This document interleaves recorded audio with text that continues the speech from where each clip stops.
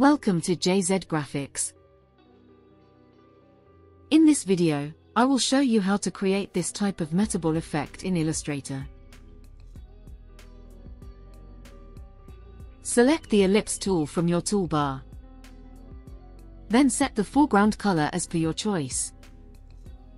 And create a circle. Hold the Alt button and create a copy of it. Decrease the size and set it here. Now select both the circles, right-click on them, and choose Make Compound Path. Now go to the Effect menu, Path, and then Offset Path. Apply these settings.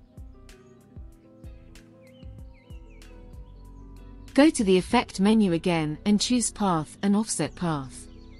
Click on Apply New Effect. Set negative offset settings here. And hit OK.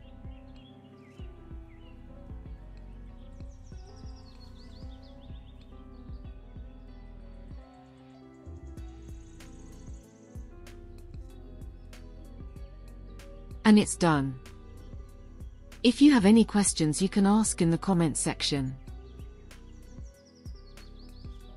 Thank you for watching.